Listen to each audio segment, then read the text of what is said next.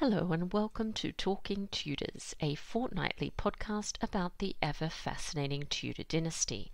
My name is Natalie Grueninger, and I'll be your host and guide on this journey through 16th century England. Are you ready to step through the veil of time into the dazzling and dangerous world of the Tudor court? Without further ado, it's time to talk Tudors.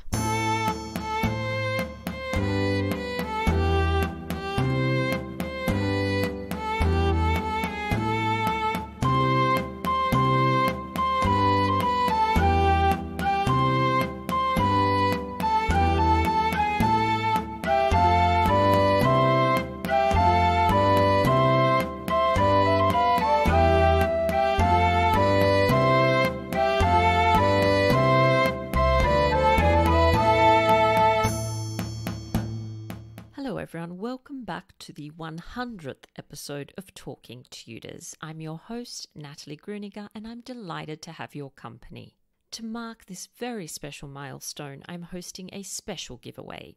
I urge you to head to my Instagram account at the most happy 78 for details, or just search the hashtag Talking Tudors. I'd also like to take this opportunity to acknowledge and thank the wonderful listeners who continue to support this podcast via Podbean Patron and extend a heartfelt thank you to everyone who's taken the time to rate and review the show. This really does make a difference, especially to us indie podcasters. I'd also like to say a very big thank you to everyone who's listened to all 100 episodes and who's supported this show from day one. I really could not have done it without your enthusiastic support and encouragement. So please keep those messages coming. If you love the podcast and tune in to every episode, perhaps you'd consider showing your support by becoming a Talking Tudors patron. Just click on the Be My Patron on Podbean badge on the homepage of my website www.onthetudortrail.com or click on the Be a Patron button on the Podbean app. Join the Talking Tudors patron family, and in addition to receiving lots of Tudor themed goodies, you'll be automatically entered into our patron only monthly giveaways. February's prize is a vintage Anne of the Thousand Days movie brochure and a copy of Sandra Vasoli's brilliant book. Anne Boleyn's letter from the Tower, a new assessment. If you've been thinking about supporting the work I do, then this is the perfect occasion. Now, on to today's episode. I'm thrilled that joining me on the show to talk about Margaret Tudor and 16th century Scotland is Dr. Linda Porter. Linda was born in Exeter, brought up in Kent, and is a graduate of the University of York, from which she holds a BA and a doctorate of philosophy and history. In a varied career, she has lived in Paris and New York, worked as a university lecturer, and spent over 20 years in the corporate world. Linda has written five books, all published to critical acclaim. The latest, Mistresses, Sex and Scandal at the Court of Charles II, came out in April 2020. Her specialisation is the 16th to 18th centuries, with particular emphasis on the Tudors, the Stuarts, and the French Revolution. She's a regular reviewer for the Literary Review and BBC History magazine and has spoken at many literary festivals. Our conversation is coming up straight after this short musical break, courtesy of guitarist Jon Sayles.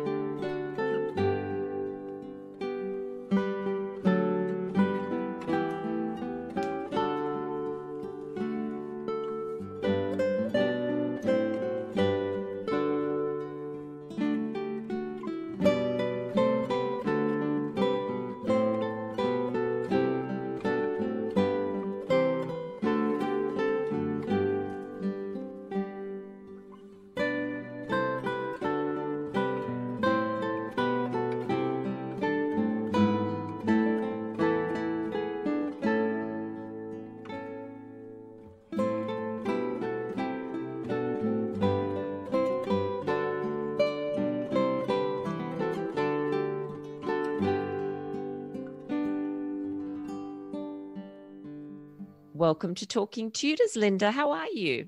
I'm fine, thank you, Natalie, from a, a rather chilly Kent where I live. But uh, I'm looking forward to being able to go out again at the weekend because it's been so icy that unless you're young and properly booted, it's probably best to stay inside until it goes away. But I'm fine apart from that. Fabulous. All right. Well, I suppose a good place to start is you just introducing yourself to our listeners and just telling us a little bit about your background. Okay, well, uh, I, I, have perhaps a rather interesting and un, unusual background in that I've reinvented myself a couple of times, but I, I, guess that's not so uncommon nowadays. I was born in Exeter in Devon in the West Country of, of England. I grew up in Kent, where I, I now live again. I've lived in Paris and New York. And uh, in fact, my daughter, who now lives in Switzerland, so we haven't seen her for well over a year. She was born in, in New York, and I've lived back in the UK for, for a long time now. So uh, I'm within easy reach of London. I'm in a very historic part of England. I was originally an academic, academic historian, teaching at various universities in and around New York City. When I came back to England, I needed a job which actually paid a reasonable salary. And academic posts were hard to find. So I worked for oh, nearly a quarter of a century actually in in um, in the corporate world, um, where I worked in public relations and communications. And when I left that, I decided I wanted to go back to my historical documents and my writing. I got myself a literary agent, which is an important thing if you want to enter mass market publishing. You can't really do it without an agent in non-fiction. And I've been with him since 2002. And I've published five books and I'm now working on a sixth. So, uh, which I will talk about a bit later, perhaps, is, is highly relevant to this conversation. Fantastic. What a wonderful, all those cities to live in. That's incredible. I love that. Now, today we're going to be chatting about Margaret Tudor and life in 16th century Scotland. So, Margaret, for anyone listening, was the second child and eldest daughter of Henry VII and Elizabeth of York. It would be really great, Linda, if you could just paint a picture for us of what Scotland was like at around the time of Margaret's birth in November 1489. Well, Scotland uh, was in a a rather um, difficult situation in 1489 because it had a very young king in James IV who had effectively just usurped his father's throne the previous year. And one of the things I think that's very interesting about the British Isles, and particularly England and Scotland at this time, is that people don't realise the, the similarities between England and Scotland. I mean, both countries had kings who had come by their thrones in, in what might be described as dubious ways, I think, uh, both in battle. Henry VII had actually, of course, effected the demise of Richard III at the Battle of Bosworth Field in 1485. Three years later, 14 year old James Stuart, James IV of Scotland, in rebellion against his own father, won the Battle of um, Burn, uh, and which is close to Bannockburn. We don't know exactly where it is, but that's probably where it is, uh, the site of another famous Scottish battle. And so you have a very young king with possibly a rather tenuous hold on his throne in Scotland, very much under the thumb of some of the leading nobles and Scottish families, but determined in his own quiet way to ride out these early years and, and to make his mark. Uh, he ruled a small, extremely poor, of course, and overwhelmingly rural, mountainous country. Many of his subjects lived on the islands or, or a few of them in the highlands of Scotland. It had a population, and we don't exactly know how much, but England's population at the time was around 3 million, and Scotland's was probably about half of that. So, so it is a very small country with only two sizable towns, Edinburgh and uh, the much smaller Glasgow. On the other hand, uh, Scotland had a, a, reputation as being a, a place where links with Europe were important, both for the Scots themselves and strategically for other European countries. And it had a long history of friendship with France, the old alliance, which was destined to uh, annoy the English south of the border. So it's small and poor with a very minimal population. One in which, however, its Stuart kings, who had been the dynasty on the throne since the late 14th century, uh, had a reputation for going out and being amongst their subjects. They were very much more sort of touchy feely, if you like, uh, than the Tudors certainly became. Uh, and it was important to them to see and be seen. Uh, they were all, of course, at that stage, because it's pre Reformation, sons of the Catholic Church, the Roman Catholic Church. The church in Scotland was under the indirect uh, control of, of the papacy. There were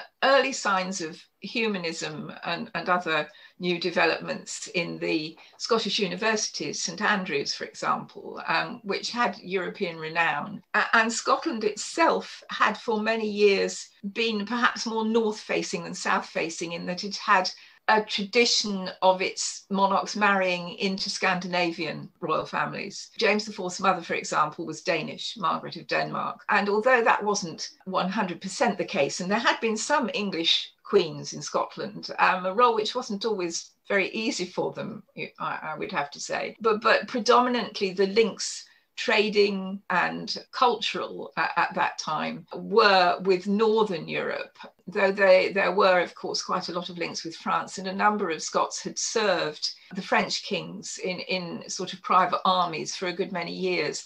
So, although it's small and remote, it, it's by no means cut off. It's at the edge of Europe and has a quite significant, from time to time, role to play in European politics. And it has a history of difficult relationships with England. And at the beginning, so when Henry Henry the Seventh uh, ascends the throne, what's the relationship like then after after he comes to the throne? guarded, I would say, because I think both kings were, were sort of watching each other. And, and James IV was literally half Henry VII's age. He came to the throne at the age of 14 nearly 15, and his, his English counterpart was 28. Now, James had grown up in Scotland, but a rift in his parents' marriage, the cause of which is not precisely known, probably has to do with the rebellion of his James IV's uncle, the Duke of Albany. The, the Scottish royal family seemed to always get on very well, it has to be said. Uh, I suppose that's a, a, trend which continued south of the border in some other ways, but uh, there obviously was a rift in the marriage of James III, his father, and Margaret of Denmark. She brought up their three sons, their three surviving sons, separately at Stirling Castle. So James IV had been well educated, but he had really long since, if he'd ever had it, lost the love of his father, who was a a strange and a man and not a very effective king. And he'd grown up under the guidance of his his young mother, who was dead by the by her late twenties. She'd been married at the age of twelve. You know, we tend to think that Margaret Beaufort, um, Henry VII's mother, must have been some sort of aberration, but she wasn't. It, it was quite common for girls once they became literally physically of childbearing age at 12 or thereabouts to get married. Uh, and Margaret of Denmark had, I don't think she had her, I remember quite how, I think she was a few years older than Margaret Beaufort when she had her first child.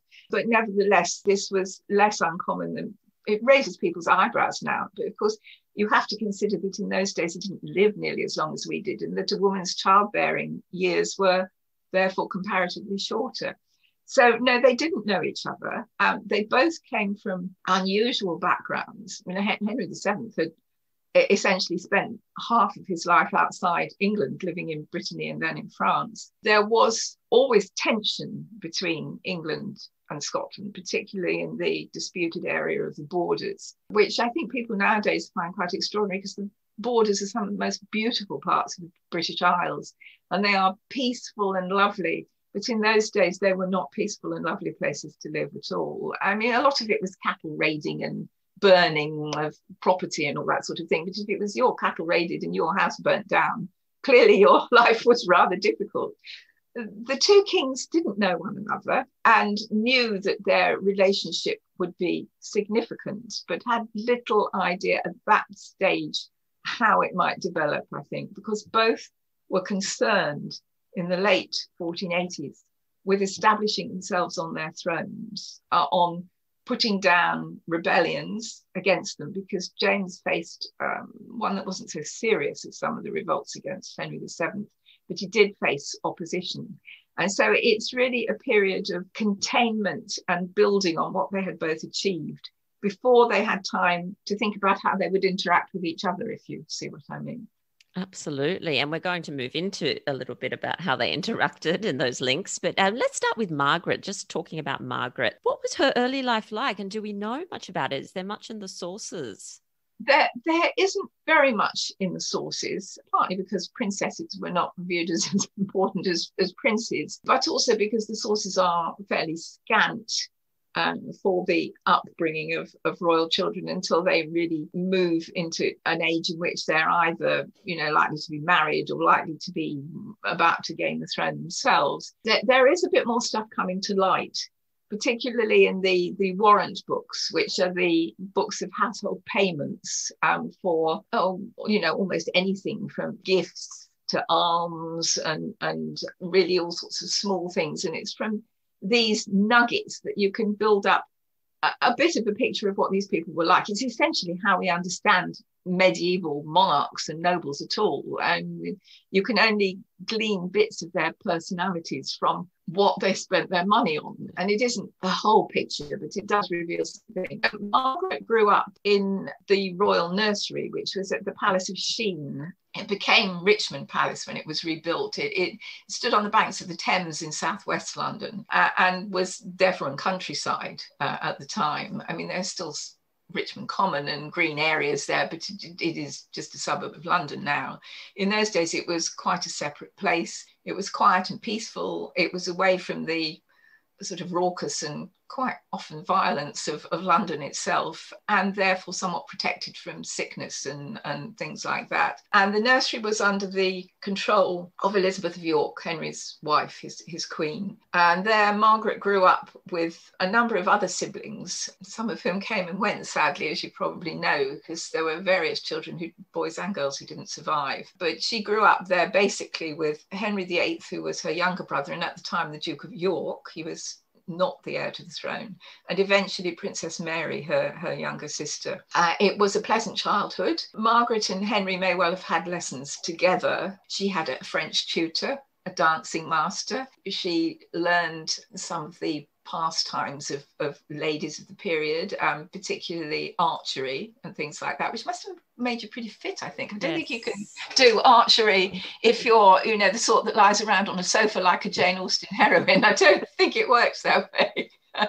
Uh, so, uh, but it was considered a noble lady's attribute at the, the time to be, be able to uh, shoot with a bow and arrow. And uh, of course, music. The Tudors were all very musical uh, and so was so was Margaret. So she would have had the basic education of a lady. She would have been literate, though her handwriting was pretty appalling. But then, of course, in in those days, noble women normally dictated to a secretary. You might have written postscripts or in very unusual circumstances penned a letter to your to someone yourself but that that was uncommon. So the fact that margaret's handwriting was difficult to read doesn't necessarily mean that she could barely write. It, it just means that she didn't necessarily have much occasion to. Um, so it would have been a, a rounded noble lady's education with the underlying aim of course of fitting her to be a queen consort which is what she became I was going to say, Natalie, we don't know very much more about it than that, and it was interrupted by the fact by this serious fire in 1498, which burnt down the palace. Uh, and for a while, they all had to remove in more into London, while the other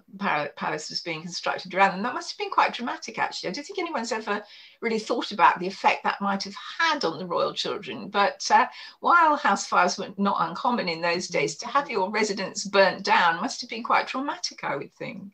Yeah, absolutely. And I'm just thinking about Margaret when I'm trying to picture her in my mind. There's a couple of sort of portraits that come to mind. I don't know whether they're quite contemporary, but so do we know what she looked like? I know people like, I, I suppose it's a way of connecting with them, isn't it? And making them more real if we kind of can picture what they, yeah, what they looked like and, and maybe her personality as well. Yeah, we have some idea of what she looked like. I mean, the, the um, portrait of her that you often see in which she's holding monkey actually um, after she was Queen of Scots is not contemporary, but may well have been based on a 16th, an earlier 16th century portrait. There is a picture of her in, in the um, wonderful collection, uh, the Recueil d'Arras, which years ago I spent a huge sum of money to get this absolutely wonderful book, which has all of these and other portraits and drawings of, of European upper class people in it. And it, it shows her at about the time that she married James IV, in other words, when she was about 13,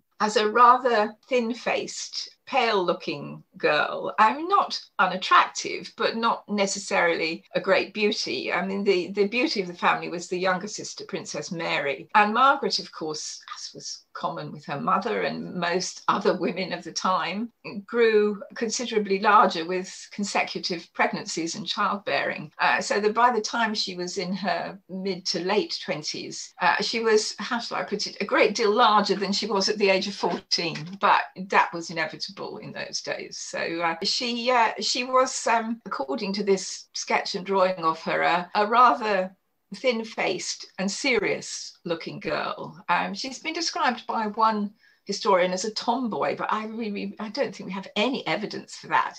And being good at archery doesn't mean you were a tomboy. As I said, it was just an, an attribute important for noble ladies at the time. But anyhow, she uh, she grew up in a, a, tranquil and loving environment with her siblings. And I, I think one of the most important things that people don't necessarily understand about this period and the one that went before it is that the Tudor late medieval as this is concept of childhood just doesn't correspond with us in any way. I mean, for, for, example, the idea of being a teenager wouldn't have occurred to them. You know, by the time you were 12, you were thought to be an adult, both male and female, and your childhood was behind you at that stage. Margaret didn't grow up very much in contact with her elder brother, Prince Arthur, who was the heir to the throne, because when he was about six or seven, he was sent off to Wales, or the Welsh borders to Ludlow to be educated separately there, which was a tradition.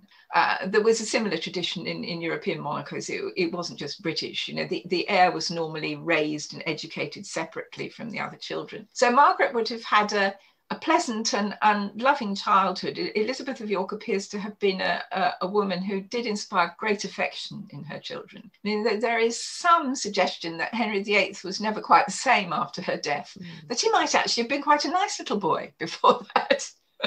he didn't turn into a very nice man, of course, but uh, and it would have been enjoyable and undemanding. Of course, they all learned to ride at an early age, uh, and they would have been used to to servants and, and giving commands. And Margaret was raised, as I said, to be a, a queen consort and was able to fulfil that role very, very well. You mentioned that, of course, she goes off to marry James IV, but when did these negotiations for this particular marriage begin? Well, James was, of course, 17 years older than, than Margaret. And he was, I wouldn't say the most eligible bachelor in Europe in the sort of late 1490s, around the turn of the century, but he was certainly one of them, despite the, the sort of smallness and lack of relative lack of prosperity of, of, of Scotland at the time. And he was a king, and that in itself was, was attractive to many other European monarchies. The first indication we, we have of the idea that there might be a marriage between Margaret and James actually came from Henry VII. Her father was first mooted in 1496, but at that time, James was being particularly annoying to Henry because of his support of the pretender Perkin Warbeck, who you know, presented himself as Richard, Duke of York, uh, and is occasionally known as Richard IV. And uh, this may have been a, an idea on Henry's part to kind of cut through this burgeoning and very irritating alliance with all the dangers that it underlay it for the uh, English throne. But the negotiations didn't really start in earnest until the, the turn of the century. By that time, James, who, who was a, uh, an indefatigable womanizer, had had a number of mistresses. He was still living with Janet Kennedy, his sort of live in mistress at the time, but he knew that as he approached the age of 30, and he must use his marriageable status to his and Scotland's advantage. And Margaret was uh, an obvious choice. Uh, he at one stage James would have, I think, if he could have preferred to marry um, into one of the European ruling families. And he, he approached uh, Ferdinand and Isabella in Spain to be told that sadly they didn't have any daughters left because uh, Catherine, their youngest, had just been uh, betrothed to Prince Arthur in England. So he, he perhaps was running out of, of suitable young ladies at the time. Um, and there were obvious attractions in being married to the new dynasty in England's daughter. not the least of which was that, you know, Henry and Elizabeth of York had lost a number of children. They didn't actually know in 1500 that they were about to lose one of their two sons. But, but there was the possibility, distant as it must have seemed at the time, that it could give him a foothold in England uh, in the future. So uh, it was a diplomatic marriage. The English, and particularly Elizabeth of York and her, her mother in law, were not keen for Margaret to be formally married and, until she was 12 years of age, which may well have been an indication of the trauma that Margaret Beaufort had suffered at being married and made pregnant so young. They, they, you know, they actually, Henry actually wrote or said to the uh, Spanish ambassador, they didn't want uh, Margaret to be married too young in case, you know, the King of Scots hurt her presume a rather, you know, uh, obvious uh, mm. way of referring to to what had happened to his own mother. But no, the the Treaty of Perpetual Peace, is, uh, which of which the marriage formed a major part, it's a very optimistic name for Anglo-Scottish relations at the time, was actually signed at the beginning of 1502 in January 1502, and Margaret was married by proxy later, well, in early in 1503, in fact. And in between, of course, um, her mother died, which must have been very difficult for her. Uh, it was difficult for her. It was difficult for Henry the, the Seventh as well. It was a very dismal period because it had followed only less than a year earlier the death of Prince Arthur uh, after his marriage to, to Catherine of Aragon. So in the space of that time, from you know the beginning of this, the, the 16th century, Margaret lost her elder brother, whom she seems to have been very fond of, though they can't have known each other personally all that well. Um, but there does seem to have been quite a lot of affection between them. And uh, she lost her mother as well, so that at the age of 13, she had to go north for the, the real wedding uh, to James IV, uh, having lost her, her mother um, she left in June. Her mother had died in February. Uh, the, mm. anniversary of her death was was just yesterday, in fact. So so sort of barely six months in between. Um, she had been referred to as the Queen of Scots at that time uh, after her proxy marriage because that was legitimate title. But uh, this was something that appears to have annoyed her brother Henry VIII because he temporarily had to give precedence to her. Yes, I can imagine. I can see that getting on his nerves. it seems to have got on his nerves in a rather permanent way. But uh, although it's true that that in the early 16th century you were considered an adult at the age of 12 and Margaret was 13 when she actually went north to marry James IV. It must have been a considerable strain for someone so young and being parted from everything she knew. I mean, having said that, she went north with a huge entourage of English ladies and gentlemen and her own you know religious confessor and advisor and everything so she she wasn't alone in that respect but but she was removed from an environment that she had grown up in, that's for sure. Yeah, absolutely. What a difficult time. And we are going to talk a little bit more about that journey north. I love hearing about all those um the details about those things. But before we do that, I just wanted to know a little bit more about James the Fourth. So you've mentioned that he was a bit of a womanizer, which is not fantastic. What else did what did his contemporaries think of him? And was he a good leader by this point? Yes, he was. I mean, I, I think in many respects he was one of the most remarkable of the late medieval kings what he is remembered for, is, of course, is for losing his life at the Battle of Flodden in 1513. But before that, he had been a, a dynamic and charismatic king. He was enormously broad in his interests and, and abilities. He could speak numerous languages. Uh, he, he had a keen and restless intellect. He wanted to know all about the latest military developments, uh, both naval and and in the the army. He got advisors in from from europe. He sponsored you know the universities. Um, he was religious in the in the way of most men of his time. I mean despite the numerous mistresses and he had a quite brood of illegitimate children actually by this time growing up in Stirling Castle, uh, which was to be Margaret Tudor's dower castle. And she turfed them out very soon after she married him, or at least they got removed. We don't precisely know how this happened, but uh, James was one of those men from the past that I think it's hard to dislike actually, because there are many things about him that, that touch a chord. Someone who was so charismatic, who loved culture and music, um, who obviously was quite irresistible to women. I mean, he wasn't exactly a handsome man, but his portrait, again, based on a, an earlier one, probably it's not contemporary, shows a man with sort of reddish brown, the, the Stuart colouring hair, holding a falcon. Um, he was very keen on hunting. He was also an extremely physical man, very, very fit. He could ride 100 miles a day, obviously not on the same horse, but, uh, but he could. He frequently walked to various of the pilgrimage sites in Scotland, you know, which, which took days to do. Meeting and greeting people on the way, he dispensed justice in the sort of travelling assize system that they, they had in Scotland. He did that on a personal level. His subjects, apart from a few disgruntled nobles, and there are always disgruntled nobles in almost any country in Europe at the time, his subjects appear to have adored him. And his, his achievement in making Scotland, small and impoverished as it was, a real European power is something which I, I think is, is often overlooked and, and underestimated. So it, it was a, a, really quite remarkable man, and in, in almost every respect, the complete antithesis of her father. In uh, Henry VII is a difficult man to know. I think it's still acknowledged by historians that, that we really don't know very much about him. But he, in, and in his portraits, he looks wary, but then you would look wary scary if you'd come by the throne the way he did and had constant attempts to displace you. And, he seems to have been an affectionate husband and father. And Margaret's personal letters to him bear witness to that, I think. But James, but by the time that, in fact, that Margaret left to go north, Henry VII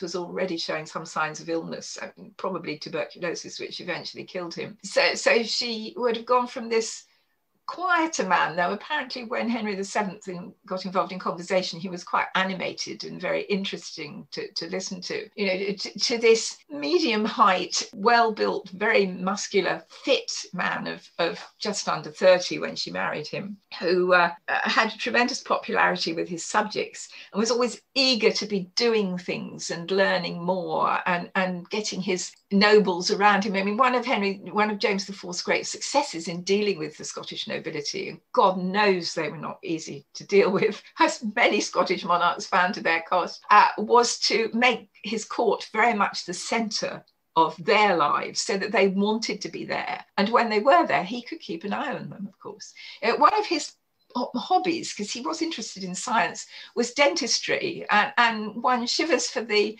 occasional scottish noble who had to you know uh, perhaps unwisely had admitted that he had toothache, and the, the monarch would oblige by, you know, fiddling around and removing it. And I, I think it was an offer you couldn't refuse, probably at the time.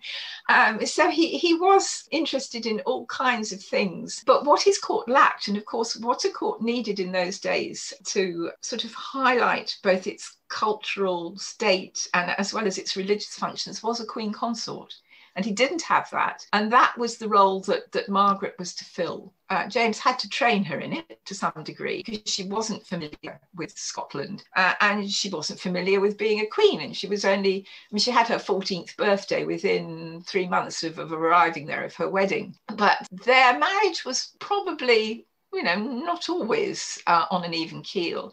James did have mistresses after his marriage, but not you know, in the way that he, he had before. And it, as a partnership, it seems to have worked very, very well. He, he got this young girl whom he could train and mold um, to be a queen. And he did treat her with a great deal of support and affection and respect.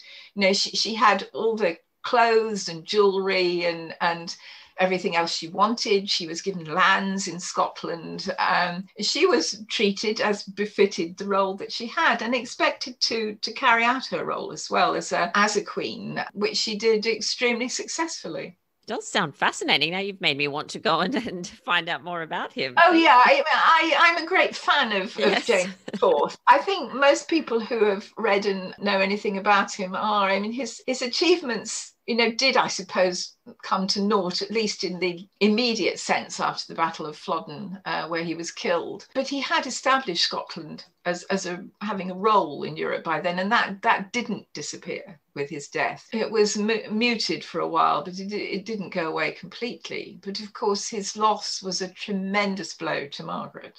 Let's go back a little bit and talk a little bit more about the journey north. I'd love to hear a little bit about perhaps do we know where she stopped off, who was yes, part yes, of her do. entourage? Rather fortuitously, we have quite a lot of information about it because she was accompanied north by by the Somerset Herald. And you know, heralds were they were almost like roving reporters in, in, in a way. You know, it was their job to note down and chronicle what happened on the journey and then write it up in a way that that could be well could be used as propaganda quite honestly. And of course the whole journey was a great propaganda coup for henry vii you know he, he didn't wave Margaret Tudor goodbye at Collyweston, her, her grandmother's home, and sort of think, well, you know, that's that. Uh, it, w- it, was all very carefully planned, and she travelled slowly in stages north. She made major entrances uh, on an organised basis to, to some of the major cities, particularly York, which was, of course, the second city of, of England and had its own archbishop. She went north with several hundred people in her, her entourage. It was led by the Earl of Surrey, whom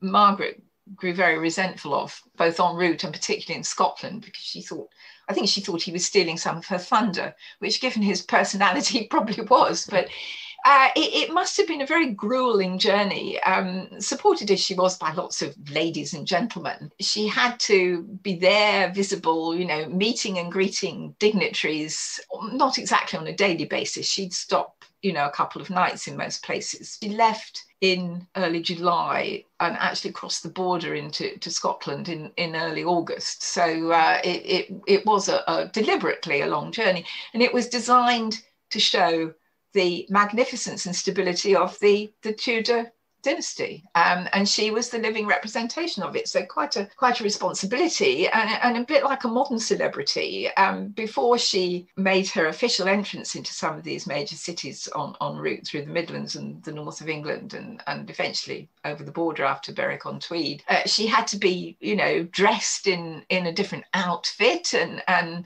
presumably made up and all of that because they did have cosmetics of a sort in those days. And it, it must have been extraordinarily tiring uh, as well as as very demanding in in a mental sense as well. Uh, and although you know, very well supported on each part of the way. Um, Margaret seems to have handled this with, with great aplomb. Uh, it was a big opportunity for the dignitaries of these various towns, the mayors and the aldermen, and also the local nobles, many of whom, as she got farther north, had quite tenuous links with, with the court in London. I mean, if you were one of the Percy family, the Earls of Northumberland, your job was essentially to hold the border for the, the monarch. Uh, you were a very mighty subject in your local area, but going down to London on a regular basis to appear at court w- was as much of an undertaking as, as was Margaret going north, essentially. Of course, they all did come to court from time to time, but it, it wasn't necessarily a regular thing that they did. And so it was an opportunity for them to demonstrate their local power and wealth. You know, they all came out in velvets and silks, and it always amazes me how people wore velvet in those days in the height of the summer it must have been horribly hot. But it, it was to show, you know, that you could afford this kind of thing it really was a spectacle, one of the great spectacles of Tudor England, very early in the Tudor period, in the early 16th century. But it, it was, and we know a lot about it because it was chronicled by um, the Somerset Herald, who accompanied Margaret. And it, it's often said that that you know the English who went north, the English nobles, gentlemen, and ladies, were rather sniffy about the whole thing, and particularly sniffy about Scotland when they got there. You know, and desperate to show that they thought they were superior. But this doesn't come across in Somerset Herald's account. He, he's very impressed by the amount of time and money and effort that James IV had put into this. Is James had undertaken extensive rebuilding works at Holyrood House, at Holyrood Palace, to accommodate his queen and, and have, you know, a, a, permanent wing and residence for the for the queen consort. And he had spared no expense. And believe me, he didn't have a lot of ready money. he ended up in debt as a result. Well, sounds so, yes, like a wonderful journey. It's, yeah. fasc- it's a fascinating journey. Yes, I mean, you you um, see her arriving at these places, not all, very often on horseback. She was often carried in a litter into these places, and then you know she gets out and meets people. Uh, in York, of course, she uh, attended mass at the at the Minster, and this was something which you know people could see and and view. So it, again, it, it's it's a a strong sign of the, the Tudors' desire for display and visibility. Uh, and it, it is quite a remarkable journey undertaken by really such a young girl at the time. Absolutely. And one that had just, as you said, lost, you know, her mother and her brother not that long before. So in 1509, of course, Margaret's younger brother, Henry VIII, ascends the throne. So how did this affect Anglo-Scottish relations? It didn't do a lot for them, to be truthful. Uh, it, the Treaty of Perpetual Peace was already breaking down in that time because, you know, border raids were border raids were a way of life on both the English and Scottish side of the border. It was just what people did. And in fact, there were a whole series of local laws and local courts uh, in which the Scots and English had equal rights which which covered um, the whole area of the borders, um, and something which I think is not widely known. It's very interesting, actually, if you're interested in legal things. But initially, there were various problems. Firstly, Henry VIII wished to, uh, who was only 17, of course, when he came to the throne, wished to establish himself quickly as a as a force in his own right, and to distance himself from his father. Uh, I mean, it's often said that, oh dear, you know, Henry VIII was actually not a bad lad until he fell off his horse in 1536 and was never the same again. But you have to remember that Henry VIII's first action was to execute two of his father's closest advisors, um, which I think is a portent of things to come, and who were really not guilty of anything other than carrying out the monarch's commands. But he, he knew they were unpopular. Uh, and so he thought that this would be a move that would establish himself. And of course, he saw James IV as a rival, uh, an older, more experienced king, um, hardened in fighting, because James had personally participated in some of the fighting, you know, with, with rebels in Scotland and, and, and things of that sort. Someone who who was married to his sister, who, of course, by that time he hadn't seen for, for six years, and who would potentially be a thorn in his side. James seems to have regarded Henry with a certain amount of elder brother in lawly contempt. so it didn't make for the happiest relationship. And things got off on a rather bad footing and got worse because both Henry VII and Prince Arthur actually had left Margaret bequests in their wills, sums of money and also plate, you know, in other words, gold and silver and, and things of that sort. This Henry VIII refused to honour. Uh, his sister wrote to him in high dudgeon on various occasions. Uh, and then Henry VIII had more or less said, Oh, well, you only want this because your husband's an impoverished Scot he didn't actually put it in quite those terms, but that, that was the kind of message that, that, that lay behind this. And uh, James demanded this on his wife's behalf. Margaret got very incensed and wrote to her brother saying, You know, our husband is ever the better to us, you know, and you are withholding monies that, that are bequests that are due to me. And obviously, you know, the, the situation between England and Scotland was not going to remain stable for very long. It hadn't been stable for centuries, um, and, and that wasn't going to continue continue. Henry had designs both early and late in his reign for glory in France, something which he signally failed to achieve, but he managed to make the best of it that he could. Uh, and of course, it, it was that particular area of both Scottish policy to France and English policy to France that eventually brought about the warfare that culminated in, in James IV's death. Because when Henry invaded France, which he did at the behest of Emperor Maximilian, the Habsburg Emperor, who was one of the French king's major rivals, but when Henry did that in 1512 to 13, James IV of Scotland was bound by treaty, though of course monarchs could and did break treaties, but he was bound by treaties to support Louis XII of France. And his, his invasion in August 1513 was intended as a diversionary tactic. The best hope he might have hoped to to get as far as York and establish himself there, you know, thereby becoming a real danger to, to Henry. But as it was, he he got you know, no farther south than northeast Northumberland, having taken a number of these border fortresses, which were constantly being knocked down and then built up again in border warfare over hundreds and hundreds of years. So they're very fine to see, actually. With Henry in France, Catherine of Aragon, of course, as regent, was responsible for deploying really troops and and and developing with her council the, of advisors the policy. And she sent the earl of surrey north. And of course he had been the man who had brought james iv his bride and was now to bring him something very different. He was old by that time but he was a canny military man. James iv liked set piece battles. He'd read all about this. He's got all the advisors from France, Germany, and Switzerland there. In practice, he had a larger force by a factor of two or three than, than, than the English force. But they were not as maneuverable as the English. And the ground on which Surrey, who'd outwitted James by marching at night to a, a, a new base, the ground on which they met below Branxton Hill in, in Northumberland was boggy. I mean, you can still see the fact that it's it in wet weather it is marshy there because I've actually been there. It was one of the best sort of research trips I ever took um, because it is in a remote and beautiful part of northeastern England, and no one ever goes there. Just, they just don't go there. You know, they just know nothing about it basically. But it's got quite good information as you climb up the slope and see the top, and you can see where James and his three separate divisions lined up with all his cannons. You know, he had the latest military equipment at the top of the hill. What he did not have was maneuverability. And although he came down the hill to a, um, a smaller force, they were more maneuverable.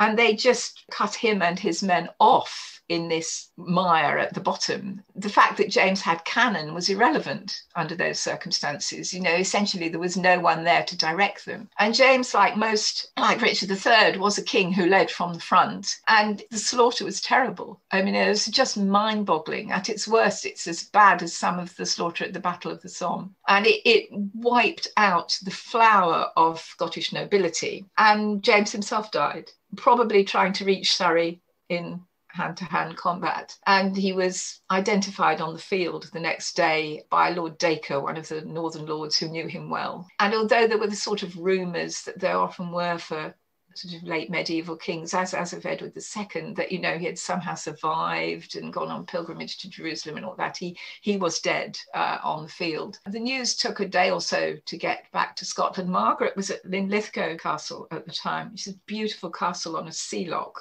not far from Edinburgh, because she was pregnant. Um, she had by that time given birth to, oh, more than half a dozen children, but only one had survived, Prince James, who was then about 18 months old, but she was pregnant with another child at the time. Uh, we don't know how she reacted when the news was brought to her. I mean, she must have been aware that there was a possibility that the battle would not go well. Whether she had feared in her mind that her husband might actually be killed, I don't think we could ever know. Uh, she, it was reported, you know, in some of the later Scottish chroniclers that she'd been screaming around the tower of Linlithgow Castle, but I mean, Margaret wasn't a hysterical young woman actually.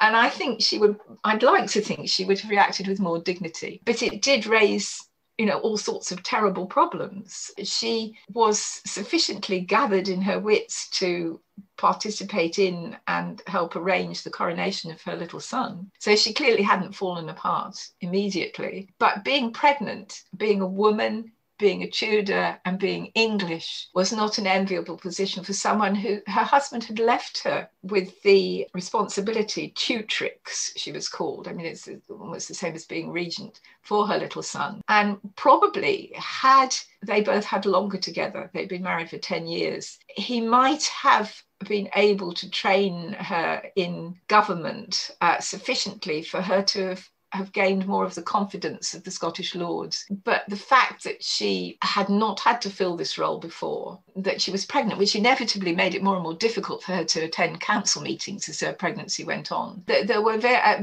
various factors that told against her. And of course, one crucial aspect of her being left in charge of her son was that she didn't remarry because James could have foreseen the difficulties that could and ultimately did ensue you've talked already about some of those sort of immediate effects, I suppose, that her husband's death had. Are there any other ones that you'd like to mention?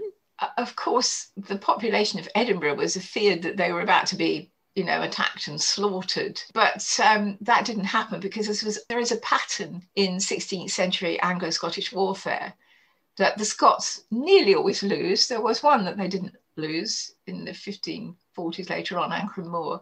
They nearly always lost, but the English could not invade and actually occupy. They simply didn't have the manpower or the wherewithal to do that. That wasn't how that sort of warfare worked at the time. It was destructive, but it did allow for some sort of normal life in, in Scotland to go on. The difficulty was that not all of the Scottish nobility had been wiped out, but a large number of families had lost a father or a son, and some had lost both. So there was still a pool of expertise and experience left, but there was always going to be opposition to Margaret.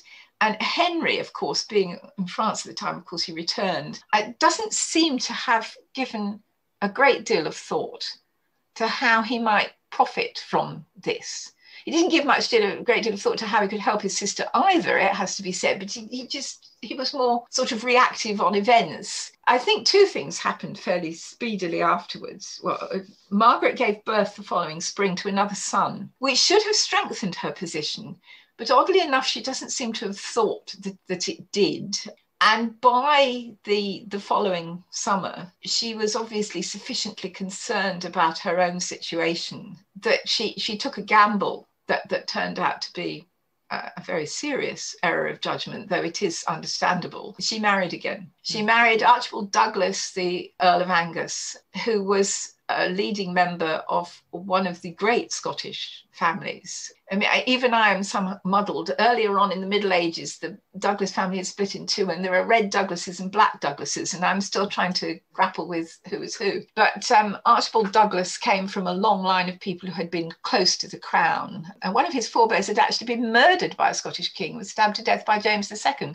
So the uh, relationship wasn't always necessarily a very close or happy one, uh, but but they were very powerful, particularly in sort of southern Scotland, in the Lothians and the Borders, where they were pretty much a law unto themselves, really. Any Scottish family that Margaret had married into would have brought forth the wrath of someone else. And you just could not have married someone where they said, "Oh, great, you know, we like him a lot. Yes. We'll listen to you now. You're married to him." This, this, this just would not have happened.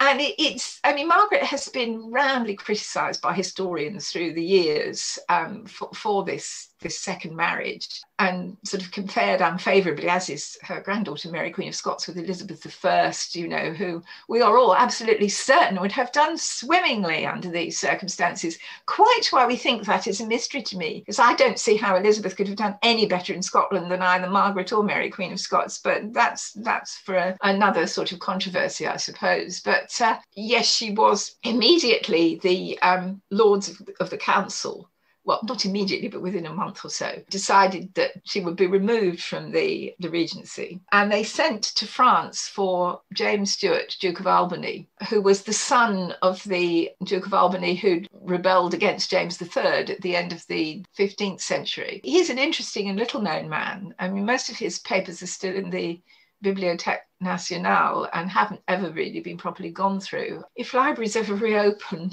yes. I wouldn't mind going trying to have a look at them or, or, possibly paying a researcher to do it. You know, there are ways of doing this kind of thing. And he'd been born and brought up in France. He didn't speak very good English. He certainly always wrote in French. Plus, which, of course, is the added problem in Scotland, they spoke Scots. People still argue over whether this is a separate language or just a sort of dialect of Northern English. But I can assure you, having tried to read it over many years, that while some of it is recognizable, it, it is a very distinct uh, language of its own. Margaret had learnt to speak it, incidentally, uh, which was necessary while she was there, uh, and could speak it quite well by this time. It is interesting, I think, and, and a sign of how male dominated these societies still are, that they preferred a Frenchman who could barely function in their language at all to take charge of the country to an English queen who'd lived there for a decade, you know, who was the mother of their little king. Her action was thought to be so sort of stupidly feminine, I suppose, and a sign of weakness. And, and but Margaret may have even had some fears for her own safety without the protection of, of her husband, and that's not illegitimate in those days and in those kind of circumstances. And she's often been represented, even going back to um, Agnes Strickland, the formidable, you know, Victorian lady historian, as a sort of oversexed whinger who was only interested in clothing and jewellery and marrying younger men. But actually, the Earl of Angus was about the same age as her. Um, there was probably no more than a year between them. I mean, he was quite a good looking young man. He was a widow uh, himself, so they, they both lost a spouse not that long ago. She was to find him a particularly difficult husband, of course, because as he started to assert himself over the years. He, he was a, a difficult, unfaithful, unsupportive husband and a ghastly stepfather to poor James V, her son, as he grew up. But the marriage, you know, was undertaken in a positive spirit, I've no doubt, by Margaret, who thought it would help her. Know, as soon as she discovered that it hadn't done, she wrote to her brother asking for help, none of which was forthcoming, neither militarily, financially, or anything else. But Henry VIII did hit upon the interesting idea encouraged by one of his northern nobles, that he might try and kidnap his two nephews. Oddly enough, this left James V with a lifelong um, suspicion of his uncle, whom he never met. Uh, he he he, uh, he, managed to avoid meeting him altogether. We're supposed to meet at York in 1541, yes, and James right. showed up uh, when Henry VIII went north with Catherine mm. Howard during their brief marriage. But uh, so uh, it was a very difficult time for Margaret. I think it says something for her tenacity and the fact that she had not lost the support of all of the Scottish lords by any means. You know, she, she wasn't suddenly cast out into outer darkness and left entirely alone with just Archibald Douglas. Uh, she did still have her supporters. Uh, largely because of the makeup of, of Scottish politics at the time. So she uh, she was able to maintain a presence in Scottish politics. And she did retain, at least for a while, physical control of her two children until the, the, the, famous incident a year after her marriage to Angus, when Albany, exasperated by her continued sort of opposition and the difficulty she was putting up, besieged her in Stirling Castle. And she eventually, her husband had deserted her by then, incidentally, and gone off to protect his own back. Margaret then, seeing that the game was up, made one of these magnificent Tudor gestures, which which really Tudor women and even Tudor kings, I'd have to say, were extremely good at. She issued forth from the castle um, holding the hand of little James V, who was by then about three years old, uh, and with her other son in his, his nurse's arms, and gave James the keys of the castle to hand over to Albany so that this would establish his right as king. Because she and others feared that it wouldn't be the first time that a small child who was king had disappeared or died in rather unusual circumstances. And she did fear for his life, I think. And from that time on, she was parted from him for a while during a crucial part of his childhood. She then, of course, she was pregnant with her only child by Angus Margaret Douglas, as she became uh, at that time. And she felt that her own life was so much at risk that eventually in 1515 she made a, a daring sort of moonlight flit almost over the border uh, having you know appeared to be going to linlithgow castle she actually went to tantallon which was the douglas stronghold on the coast south of Edinburgh. Magnificent place. Again, no one ever goes there. When I went there, there was one other couple and a lot of seagulls. Uh, but it, it, it is incredibly dramatic too, high above the cliffs with the North Sea sort of pounding in underneath. And from there, she went south over the border into Northumberland, where she was met by Lord Dacre and taken to Harbottle Castle um, where she gave birth prematurely and was very ill for a long mm. time afterwards. And she had had some difficult pregnancies while married to, to James IV. She had lost all of their children. I mean, she'd given birth to various children who'd lived for a while. In fact, two sons who had lived for a year or more, but then died. And I think this again presents an interesting contrast, Natalie, with Henry VIII and Catherine of Aragon. Yes, absolutely. Uh, because, you know, the same thing had happened to Catherine of Aragon uh, numerous pregnancies, no child surviving, and in her case until 1516. But the difference between the two royal couples was crucial, and that was that Margaret was much, much younger than her husband, whereas Catherine was nearly six years older. But you know, the Henry VIII and Catherine of Aragon were not alone in losing royal children and royal heirs. It was just commonplace at the time. And must have been hugely distressing. Uh, you know, no matter what people have often thought, oh well, infant mortality was so strong in those days that frequent that perhaps you hardly noticed it. But I don't think that that's. I don't think the human spirit changes that much over no, a period no. of time. Uh, so uh, she did. Uh, she then spent a. She went down to London eventually with her daughter, and spent an, uh, almost a year in London revisiting and getting to know her brother and sister. Her sister was widow as Queen of France by then, anyhow, and had managed to to to marry again. And her Mary Tudor's marriage to Brandon is often presented as a love match. I think there was something more of convenience in it in that as well. That he happened to be around, and she was desperate not to be attacked by Francis I of France. So being married to someone else seemed like a good option. Uh, again, this isn't something we know very much about. There is some material coming to light on the kind of entertainment and socializing they all three did together, which is very, very interesting. But after a year, I'm probably not willing to put up with the expense. And also uh, because of his ambivalent attitude to Margaret and Scotland, hoping that she might be more used to him in Scotland than she was in London, Henry VIII intimated that she'd better go back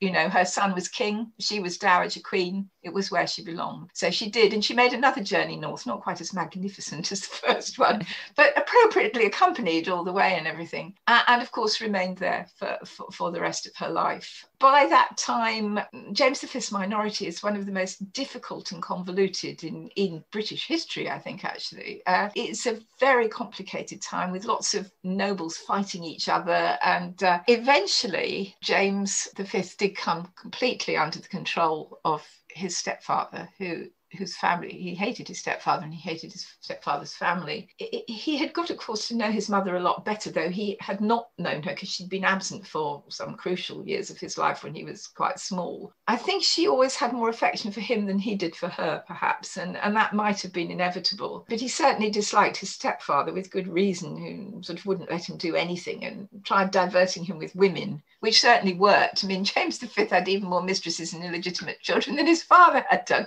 which is quite a score, really. But uh, Margaret never lost sight of the fact that James was her son and that she needed to support him so that he could rule in his own right. And when he did finally, in the year 1524 to 25, rise up of his own account, with support, of course, and kick out his stepfather who took refuge in England uh, for a considerable period of time. Margaret again acted as regent for a while. So she had two brief periods of regency, of a total of about two years in all, until you know James decided that that was enough.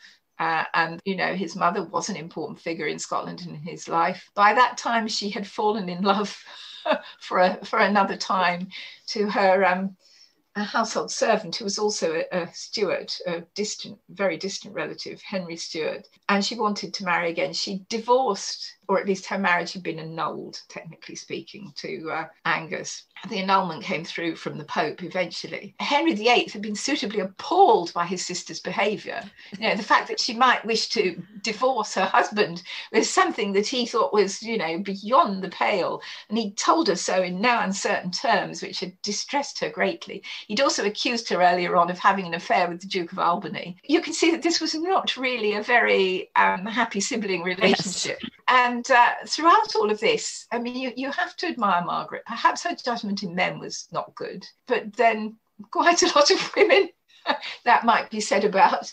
Her son had essentially decided look, Ma, if you want to marry again to someone this time who is a good few years younger than you, that's fine, but you're not going to play a part, direct part in Scottish politics anymore.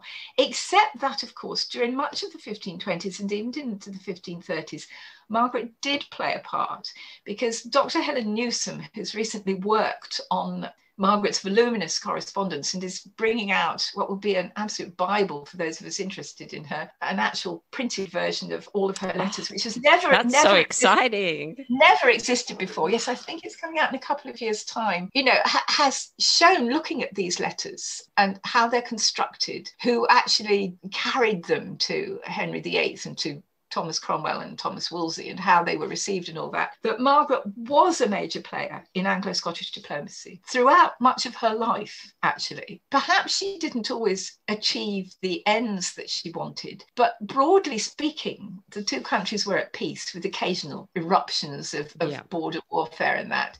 She was very canny in how she addressed these, who sent them, whether they were delivered by messenger, whether they were personal letters, all this sort of thing. And it's, it's absolutely fascinating. And I think it really does show that this was a clever Tudor player in her own right, doing what she could do within the undoubted restrictions of being a woman constantly really under suspicion for being English in, in, in Scotland. Uh, and, it, and it is quite an achievement. Uh, and then, of course, Margaret came into her own again towards the end of her life uh, when her her son himself finally married. I mean, he, he left it fairly late, but as his father had done. And his mistress at the time, Margaret Erskine, had hoped that he would marry her. Um, she was the mother of his eldest son, James Stuart, Earl of Moray, but he didn't. because, you know, essentially in those days, kings didn't marry mistresses. It, it just lowered the tone of the monarchy, basically. Henry uh, changed that, didn't he? yes, he did a bit, yes. Uh, but um, like his father, James V wanted uh, a good marriage. And he set his sights on one of the daughters of the kings of France because here again you have the old alliance. It's good for France. Uh, it's good for Scotland. It enhances Scotland's place in the world. And so off he took himself to Paris, and he did, of course, marry Madeleine, the elder surviving daughter of Francis I. She was already dying of consumption, and only lived for about six weeks after arriving in Scotland. I mean, I know Scotland's got a difficult climate, but it's really not that bad, especially in the summer you know, it, it, was sad, but remarriage was negotiated quite quickly with the Duchesse de Longueville, Marie of Guise, a member of a family who was very much on the rise at the time and would remain so for the rest of the century in France. And Margaret got on well with her daughter in law, from what we can tell. And in the summer before Margaret's death, in 1541, James V and Mary of Guise lost both of their sons, Prince Robert and Prince Arthur, within a matter of weeks of each other. They both died. And this was a catastrophe, of course. And Margaret, who had returned to court by that time, when his marriages took place, James V wanted his mother back at court fairly often, in fact, and she was very well treated and everything. And she played a major role in, in consoling them and trying to keep up their spirits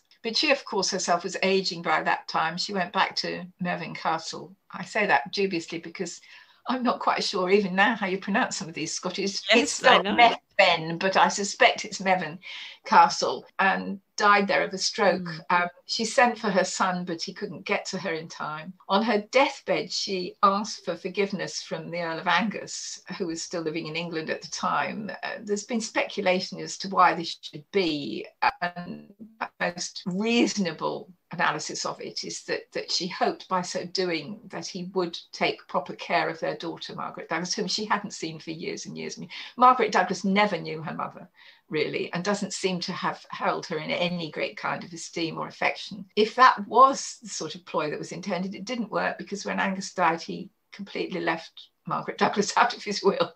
So, as a gesture, it was a rather unfortunate and empty one. But uh, so it, it is an extraordinarily dramatic life and one which has much more interest and agency, as people say nowadays. Yes, yes, very popular word. word. very popular word, yes. But but in Margaret's case, it does because this woman, you know, written off as someone who only likes her jewels and dresses. But yes. of course, she likes her jewels and dresses they are what makes her a queen and they Absolutely. are vital for her public image you know without those what is she? Mm-hmm. You know, it, it, it's not a sign that, that she's some sort of 16th century airhead. Yeah. Uh, it, it, does show, in fact, an understanding of her role Absolutely. in the world. And I, I think she's a, a, really fascinating and underrated woman. And I'm absolutely thrilled to be writing a new book. yes. biography. yes, it's so exciting. And I do think, you know, that the work of some of our best young scholars, there's also a young lady called Amy Hayes who's written a very, very good doctoral thesis on the later medieval Scottish queens. You know, this is, is really putting some of these women back into history. I know there is an argument that if you concentrate only on the top people, you lose sight of what's happening in society, and that is true. But these women have been lost sight of almost altogether and were viewed just as baby making machines. And they are so much more than that. You know, a, a queen consort had a very public role to fill in, in terms of her piety, her um, her cultural role. Um, yes, they were poor things required to give birth almost annually if they could, because it was the only way you could be fairly certain of getting someone who would survive. But they are are more than that, and they are more than just ladies cooing over silks and satins as well. No, oh, I'm so excited for your book. I'll be pre-ordering it the minute it comes out. That is well, so... I don't think it's oh. going to be out. I, have got two years to write it yes. in, um, yeah, and I have, yeah. I have uh, got a fair amount of research already from my book Crown of Thistles, which is about the rivalry between the Tudors and the Stuarts in the late 15th, 16th century. But if I was researching it 10 years ago, and right. you know, things move on. New things come to light. You know, some of these bright, you young scholars are, are coming up. You, have got to keep up with with what is current, I think. Uh, and so, especially with everything being closed at Yes, the moment. that makes is a it bit of a challenge. So, though there are, you know, you can still get things digitally. So Yes. that, of course, suggests that you know what you're looking for, and you don't always as a researcher. It's only really going into places, and you look at something and you think, ah, you know, and you go to the you look at the catalogue and you find something else that it's connected else. to uh, that you you can still do a fair amount of research but you have to pretty much know what you're looking for in the first place and so, there is a certain limitation on it Yeah. Well, it's an extraordinary story, and I've enjoyed every moment of, of what you've been talking to us about. We do have something that we do at the end of our Talking Tudors episodes, and that's what I call a little game of 10 to go. So these are 10 questions just to get to know you a little bit better. Nothing too tricky. Are you ready for that, Linda? absolutely Okay, great. So if you could visit anywhere on earth right now, where would you go? edinburgh Edinburgh. Love. I do love Edinburgh. It's beautiful. yes And what new skill would you like to learn if you could learn one?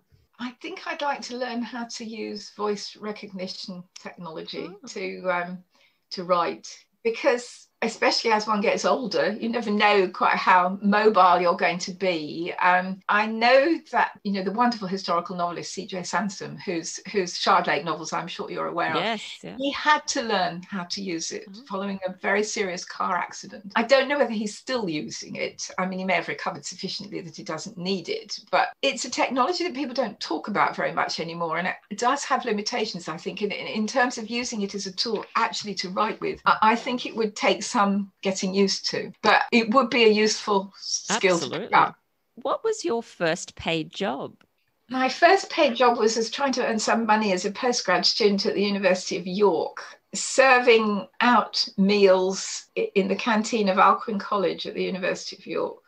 And I absolutely hated it. Um, the, it's the only time I've ever had to clock on and clock off. You know, it shows you how long ago it was, probably, but I did. I didn't have a full grant as a postgrad student. I needed some more money and I needed to work. It wasn't the work itself, um, uh, but it was the reaction both of other students who thought it was hysterically Oh, funny uh, and of the other ladies who worked in the canteen who were very suspicious of someone intellectual joining them. Um, you would have thought they might have understood the need for money, but apparently they didn't. That was my first paid job. I didn't do it for very long, actually. After a long day of writing, if you've been researching and writing, what do you do to relax?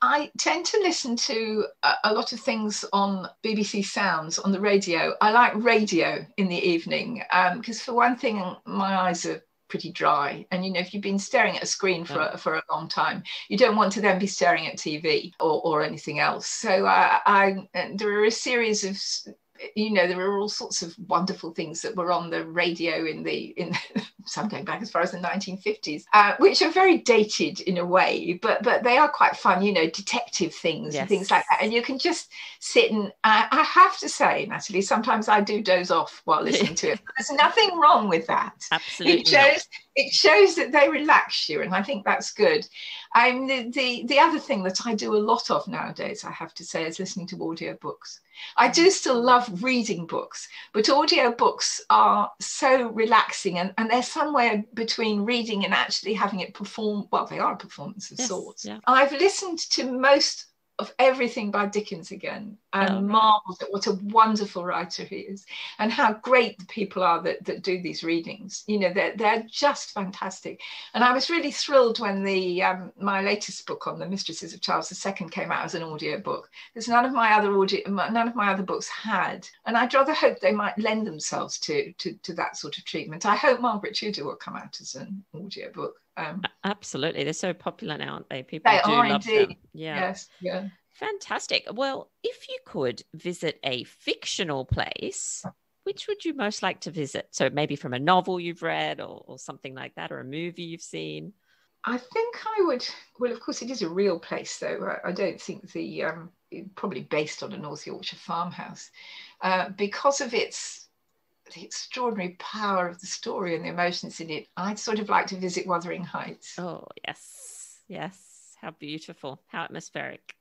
It would be, yes. Yeah. You need to dress warmly, I think. Yes, I Uh, think so. Probably rather not encounter Heathcliff in there, but No. um, but but yeah, I think I think that would be an interesting place to go. It would be an interesting place, and I know you've already mentioned some some wonderful things about where you live. But what is something that you really love about the area where you live now? I do love the fact that it's just got all these really fine historic properties um, within well, in many cases for us, within a sort of 25 mile radius. Uh, and the reason for that is that they were always within a day's ride of London. Uh, and yet it was countryside and people you know the, the upper classes wanted their estates out there. Uh, and i would therefore have said that one of the things i like about where i live is being close to london. But having said that natalie on february the 28th it will be a year since i was last in london. Wow that's incredible yeah. Well, it is because of the pandemic. Of course. You know, yeah. I, I mean, it was, I was a bit worried when I went in, even then, I went in to right. see my editor about the, the book that was about to come out. And we knew that it was gaining hold. And, you know, I was in taxis and things, and someone in their reception was sneezing, which was rather off putting. But uh, I, I, I hope to go back into it. I'm, I'm not unusual. I mean, it's partly because, you know, I, I've been, um, I'm in a, an at risk category. Yeah. Uh, but it, it's um, a lot of people who aren't have just not been in very much because no. you know it was best to, to keep away from other people. Absolutely, basically. no, I totally understand. And uh, Linda, are you more a morning person or an evening person? I hate to say it, but I think I'm neither really. I think no. I'm an afternoon person. yeah. uh, I am. Um, I I used to be a morning person. I'm really not good in the evenings. I, I, actually don't like giving talks in the evenings. Yeah. You know, if someone says, "Oh, come on, can you give a talk at 7.30? my heart sinks. Because yeah. actually, I'd quite like to be winding down by Absolutely, then and yeah. all hyped up and then dealing with people's questions afterwards and all that. So, I, I mean, basically, of the two, I'm more a morning person. Yes. Yeah. And what is a subject or an area that you'd like to learn more about?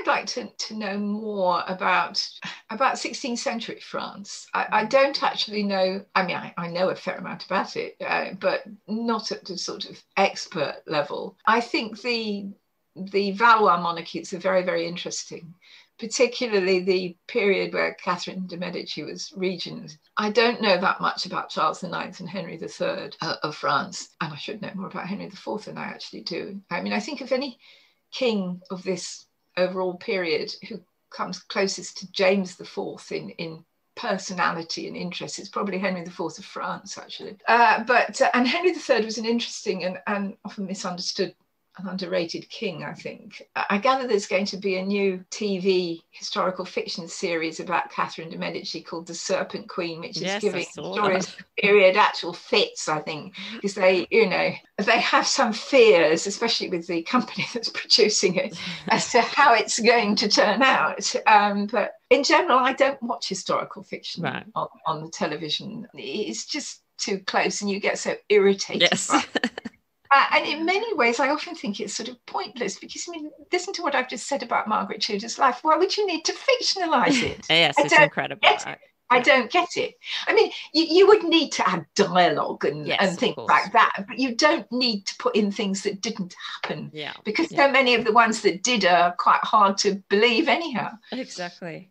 That's so true, isn't it? And lucky last question What is a question that you would most like to know the answer to? And this can be anything, it doesn't have to be historical, it can be about anything really. I would like to know if Mary, Queen of Scots, did connive in the murder yeah. of Lord.